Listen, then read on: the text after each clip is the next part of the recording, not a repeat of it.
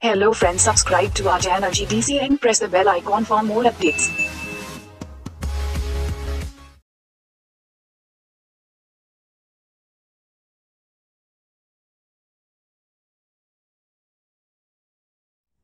Hello pharma aspirants, welcome to the GDC channel.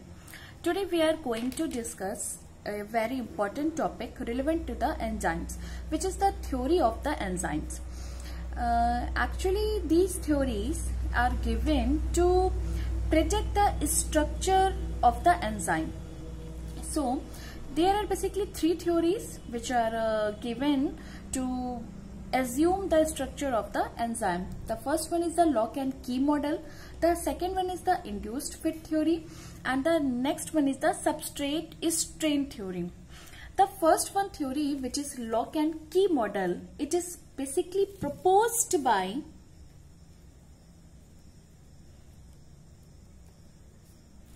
proposed by Emil Fischer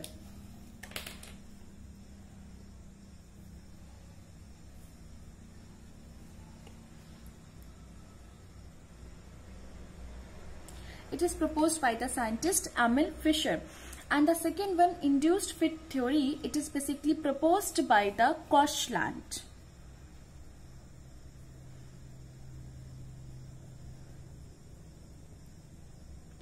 And the next one, substrate strain, it is basically the, uh, it is basically given according to the both theories, according to the final result obtained by these theories.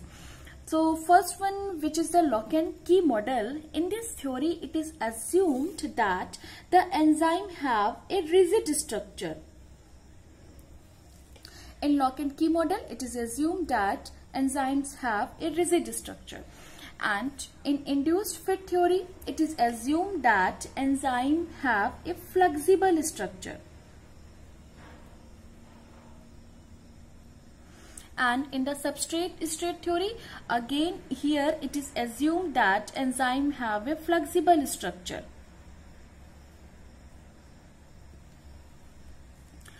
so in the first one theory which is lock and key model uh, in this uh, theory Emil Fischer scientist said that enzyme is basically pre-shaped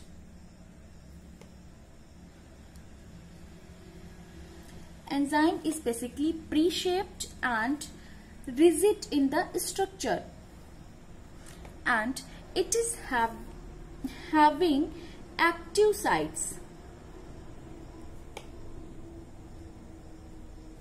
Here we can uh, see in this structure also that it is a enzyme which is having active site. These are the active site. So the substrate comes and bind into these active sites as this theory suggests that enzyme is rigid in structure it is a pre-shaped it is a pre-shaped and rigid in structure substrate comes and bind into the active sites of the enzymes like this. So now coming toward the induced fit theory as the name suggests induced. In this theory it is assumed that enzyme is flexible in structure. That is active sites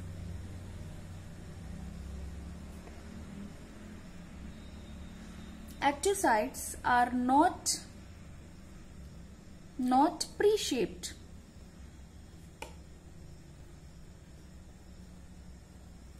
active sites are not pre-shaped. It it is basically uh, the here basically the induction the induced structure is formed according to the substrate.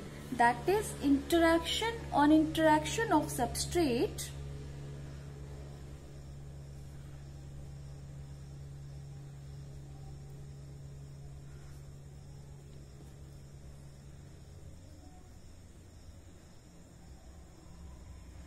on interaction of substrate with enzyme.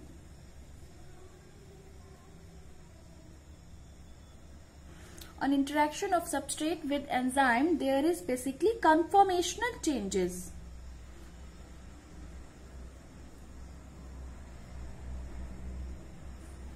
Conformational changes in the structure of the enzyme occurs that is in this theory of uh, induced fit it is assumed that active sites are not pre-shaped on interaction with the substrate with enzyme.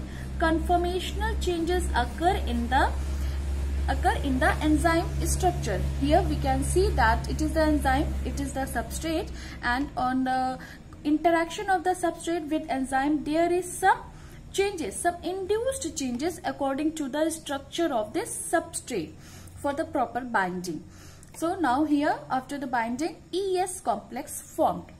So it is the induced fit theory. Now coming towards the substrate strain as the name suggests that is here a strain occurs due to the substrate. So in this theory it is assumed that uh, enzyme structure is flexible and substrate is strained